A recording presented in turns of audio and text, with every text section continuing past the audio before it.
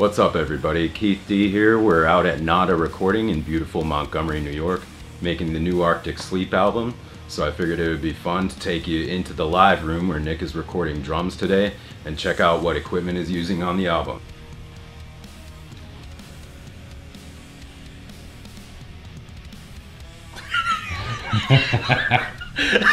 so tell us about the drum set that is being used today. These are made by me. I've been building drums for a long time and I made this kit recently out of bird's eye maple.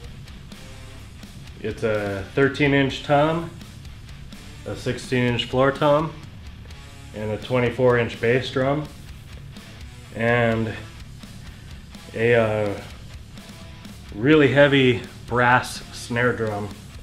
That thing weighs about 40 pounds. It's a bitch to move, but it sounds better than anything I've ever played. What's the type of sound you're going for with the with this setup? Uh, well, I'd like to rip heads off, but I'd like people to enjoy having their heads ripped off. And I think that's the general vibe of this drum set. So run us through the cymbals that you're using on the recording here. Everything I I use is Meinl. These are the Byzance traditional series. It's just the uh, cymbals I found are the most durable and the most musical sounding. I've broken a lot of cymbals in my life, and these just seem to hold up and sound really good while doing it. So I've got 15 inch hi hats, a 19 inch medium thin crash,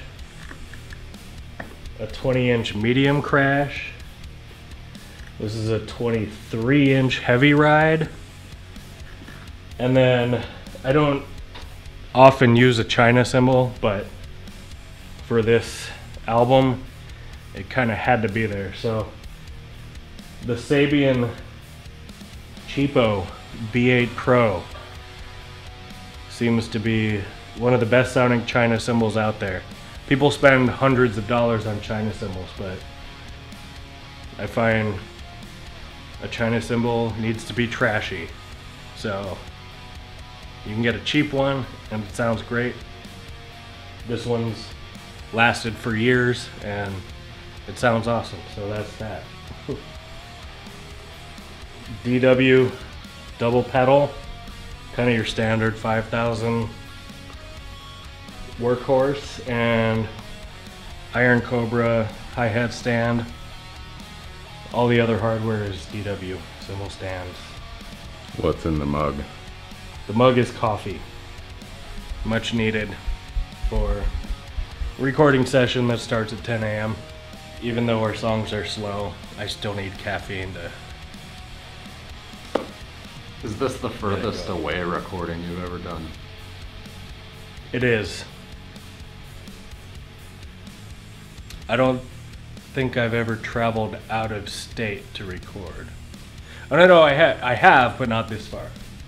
I've traveled one state, from uh, Illinois to Wisconsin, to record the previous Arctic Sleep albums.